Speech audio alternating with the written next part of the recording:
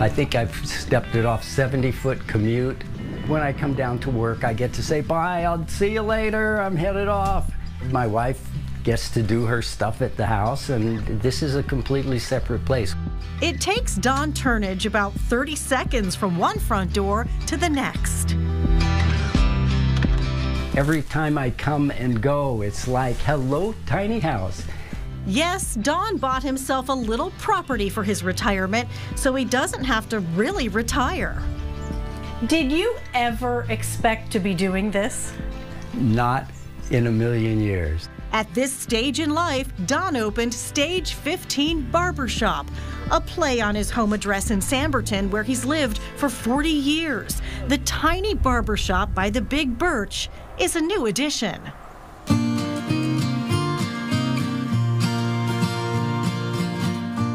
Will you give me a tour? Sure. Well, this is my little retirement barber house.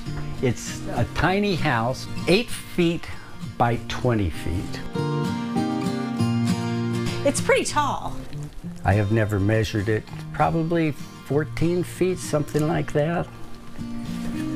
Which really adds to the roominess. You really have such a great view outside. The view and down in the field is a pond. Hey, Don, how are you? Good, how you doing? Pretty good. Thanks for coming in. Regulars are right at home here. Sit right down, hi, Don. Yeah, yeah. They come for the cut and some conversation. Geez, I thought I was going to get blown away, Don, walking out to the truck. Come Yeah. here today. Yeah, it's there's some good wind. Barbering is partly getting the haircut and it's partly a social event. And the usual for you, right? Yeah, yeah. Have you folks ever seen a nicer spot to get a haircut? This tiny barbershop was built on a foundation of sheer enthusiasm and experience from other jobs. Don's first degree, Arizona State University, I got a bachelor's degree in philosophy. Don then served in the Army. I was in for two years. It was during the Vietnam era. I love this country. I can't picture being anywhere else. He went on to become a teacher. I taught at Sant Bani School, which is six miles from here. I taught for 20 years, third grade most of the time.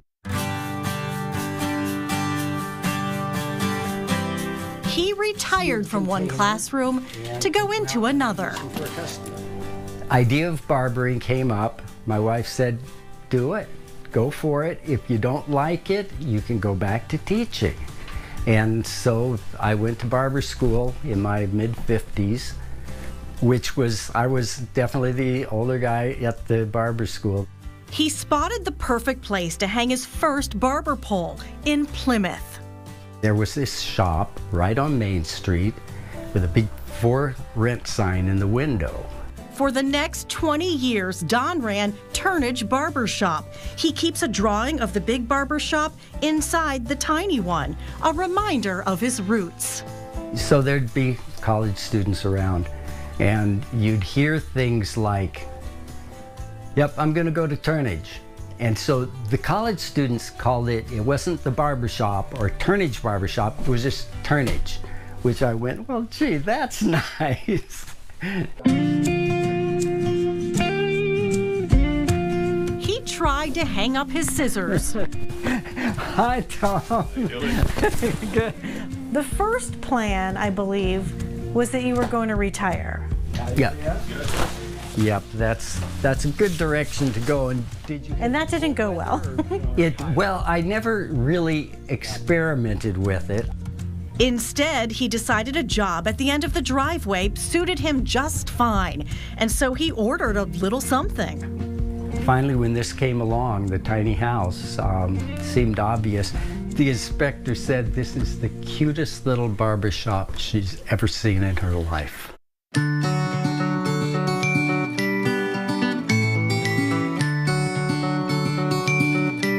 Stage 15 Barbershop has now weathered a full round of New Hampshire's seasons. It's so warm and welcoming. It really is special, and How, how this came to me, I'll never know. I think anything else you do in life, you carry what's, what works for you forward. He has a window on his world from here, looking back at career paths and looking forward to special moments. Yep, there they are. Like spotting his daughter and granddaughter popping in for a visit. Hi. Hi. Come on in. How are ya? I'll let you meet my guests. Hi, Papa. Hi, dear. Good to see ya. Thanks for having Thanks us. for coming over. Thanks.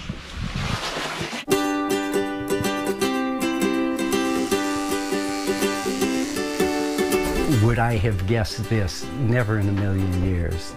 In a way, you're working from home. Absolutely. Yeah. Well, when are you going to retire? I, I don't know, and I guess if I have to, I will. And there you are. It's pretty good life. I'm just counting every blessed day of blessing I have. Always turn around and I look at this tiny house and I go, thank you. This was wonderful again.